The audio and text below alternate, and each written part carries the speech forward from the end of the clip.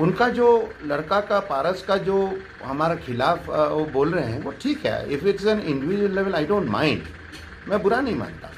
लेकिन जिस प्रकार से उन्होंने पूरा अरुणाचल को उन्होंने लिखा, हमको चिंकी आइस कहते हैं, हमको चिंकी बोलते हैं, हमको एक चीनी कहते हैं, ये एक बहुत गलत मैसेज गया हुआ है। थ्रू आउट द कंट्री मैं जानता हूँ चाहे वो तमिलनाडु में हो, चाहे केरल में हो, चाहे वो कर्नाटक में हो, दिल्ली में हो, चंडीगढ़ में हो पूरा जो सिर्फ़ पूरा भारतवर्ष में नहीं बल्कि विश्व में हमारे बच्चे सब बाहर भी पढ़ते हैं। और हम जब जाते हैं, हम कहते हैं कि हम भारतीय हैं। और हमें गर्व है कि हम भारतीय हैं।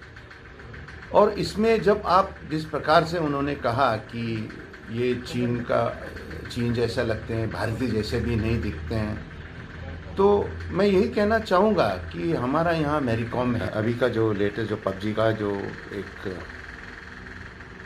उसका रिप्लिका अभी वो अभी लॉन्च करने वाले हैं। बैटल ग्राउंड मोबाइल इंडिया बोल के। तो इसके खिलाफ मैंने प्रधानमंत्री को लिखा था चिट्ठी। वो इसलिए लिखा था क्योंकि इसमें जो क्राफ्टन है, ये कोरियन कंपनी है, ठीक है। और जो टेंसेंट जो है, ये इट वाज चाइनीज़ कंपनी और ये चाइनीज़ कंपनी जो है, ये पहले भी पबजी को इसको चलाया था। ये इसलिए मैं इसको कह रहा हूँ क्योंकि यहाँ खासतौर अरुणाचल प्रदेश में और जो पूर्वोत्तर राज्यों के जो बच्चे हैं, वो बहुत ही सिंपल हैं, वो बहुत ही नादान हैं। तो उनका इसका क्या इफ़ेक्ट होता, उनको पता नहीं है।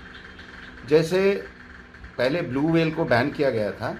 वैसे जितने भी सिक्सटी नाइन ऐप्स जो मैंने पहले भी प्रधानमंत्री को लिखा था तो इसमें यही बात थी कि मैं इसको एक एक रिक्वेस्ट है गुंजाइश है कि यहाँ अरुणाचल प्रदेश में यहाँ के बच्चों को जो पबजी का जो ये गेम है, ये उन लोग को डाइवर्ट कर देते हैं एडिक्टेड कर देते हैं।